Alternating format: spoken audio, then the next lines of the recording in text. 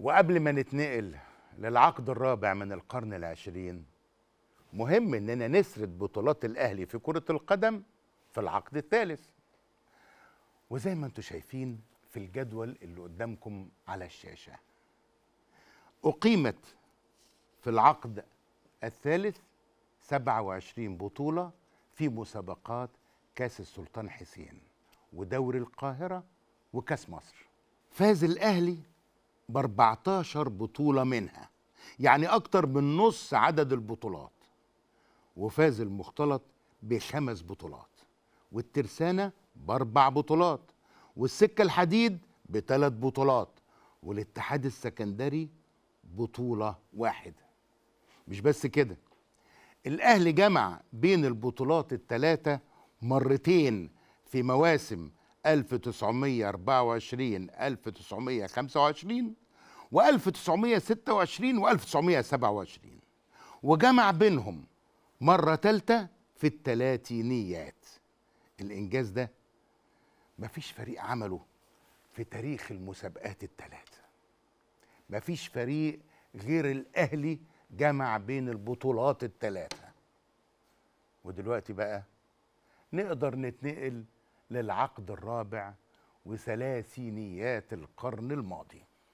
في إبريل 1932 احتفل النادي الأهلي باليوبيل الفضي. مر على تأسيس النادي الأهلي 25 سنة. فأصدر النادي الأهلي كتاب بالمناسبة دي. وكان ده أول كتاب يصدر عن نادي في مصر. ويمكن يكون أول كتاب رياضي صدر في الفترة دي. دايما الأهلي سباق وصاحب الريادة والمبادرة الأولى في كل شيء. الكتاب شمل نبذة عن تاريخ النادي وتأسيسه وعقد شركة النادي الأهلي للرياضة البدنية وتاريخ دخول الألعاب المختلفة للنادي وأسماء وصور مؤسسي النادي والمساهمين ورؤساء شرف النادي ورؤساء النادي وأعضاء اللجنة العليا واللجنة التنفيذية وأمناء الصندوق وسكرتير النادي منذ تأسيسه وحتى الاحتفال باليوبيل الفضي.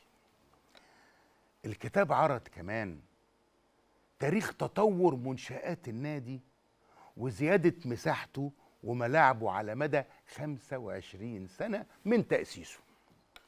وعرض تاريخ كرة القدم بالنادي وتشكيل أول فريق للكرة سنة 1911 وأسماء وصور كل لاعبي كرة القدم اللي مثلوا النادي لحد 1932 واستعرض الكتاب المسابقات المختلفة اللي نظمها النادي الأهلي للطلبة زي كأس أحمد حشمت باشا لكرة القدم وكأس عزيز عزت باشا للألعاب الأخرى.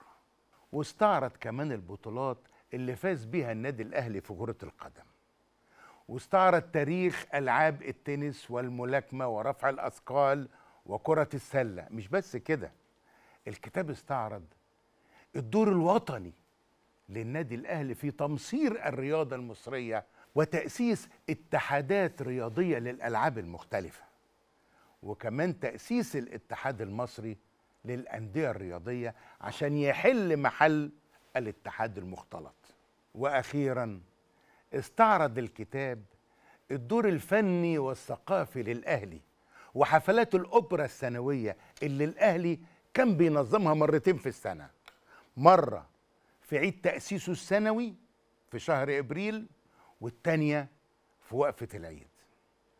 إصدار الأهلي لكتاب في اليوبيل الفضي يعني الاحتفال بمرور 25 سنة على تأسيسه كان محفز لإدارة الأهلي عشان ياخد دور الريادة الصحفية بين كل أندية مصر.